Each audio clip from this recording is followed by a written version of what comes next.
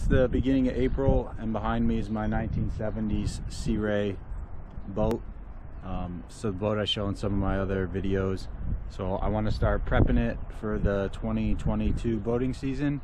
Uh, last year I had some problems with the tilt motor, so today I'm gonna get the boat unpacked, hopefully get the tilt motor assembly off, and see if I can either repair it or put a replacement tilt motor on.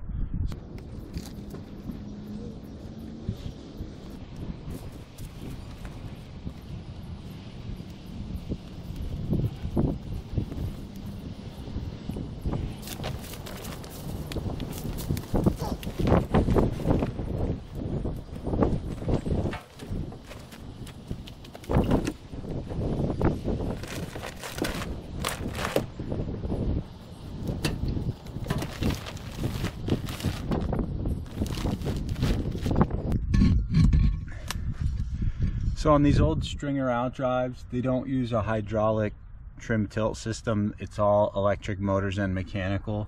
So uh, outside the boat, there's this worm gear drive assembly and a clutch pack.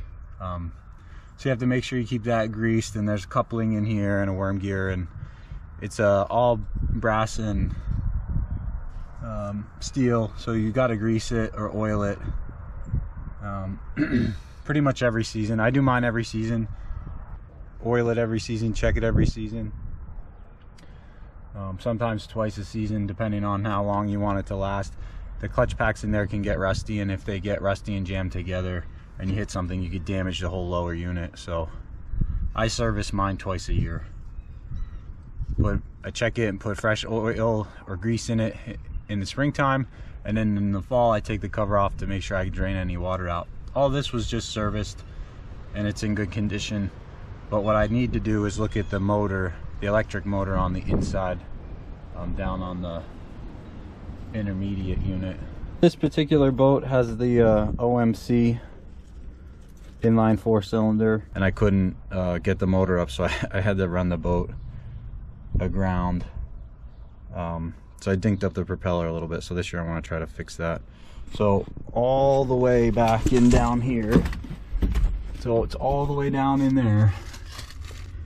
Under there. You can kind of see it just back in there. That's where the that's where the tilt motor is. Um, so it's this electrical connector here, and then it's got two. Uh, I think they're quarter inch. It's got two quarter inch bolts in it, so you just have to take. They're only like quarter inch bolts so you can turn them out by hand. You just have to take some of the weight of the motor off of it. Alright. Slip, slip that out.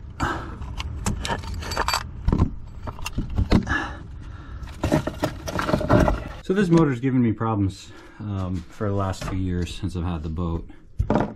And essentially it's an electric motor that's low in the bilge. So if you're not careful and you forget to take the drain plug out and it rains hard, the bilge fills up and then this motor gets waterlogged. And after how many years of that happening, it's just thrashed it. I've taken this motor apart before and I've cleaned all the uh, electrical connections and I've cleaned everything and and and serviced it and put it back together and it works a little better. But it's $70 for a new one. So it's a couple weeks later I just got the pa this package. This is the new tilt motor so it should be an exact replacement for what I took off it has the same electrical connector and the configuration on the end is the same so so down in there, I think part of the old, yeah, part of the old bracket was still, or the old motor was still in there, so that's taken off now. So now, so one of the things that's really annoying about these motors is the way they're assembled. The the installation bolts are what hold the motor case together. So you kind of have to be careful with them because if you're not, the whole thing's going to fall apart in your hand.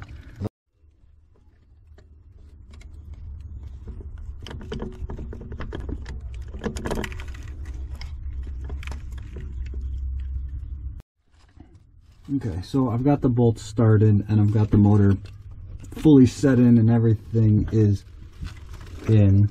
Wasn't too much of a struggle.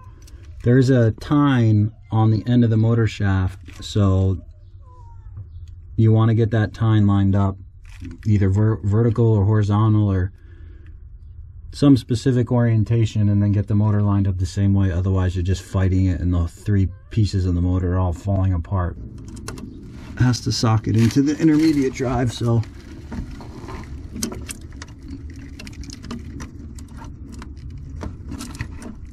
it's kind of got to fit right or it's not going to go in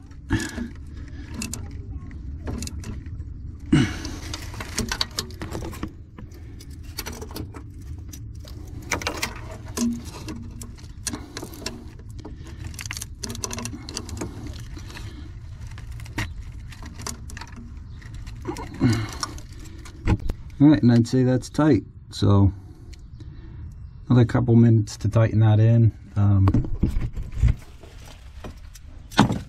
so overall, I probably got about less than five minutes into this. So there's the uh, connection on the boat side, and then the connection on the motor side's right there. Tight. So this grease will help. So just put a little in there, a little in there. And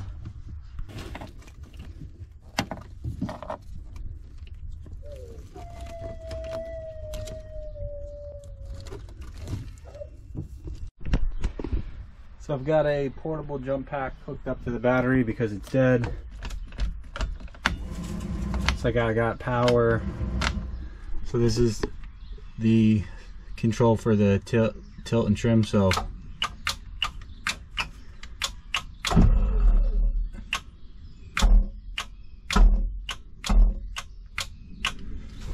it worked. So I lifted it about a quarter of the way. New motor is working.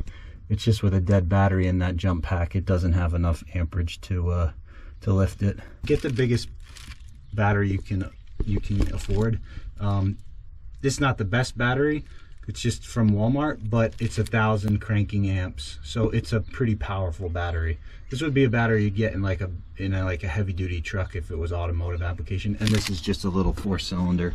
So there's tons of battery supply there for bilge pumps and lights and you know anything you could want.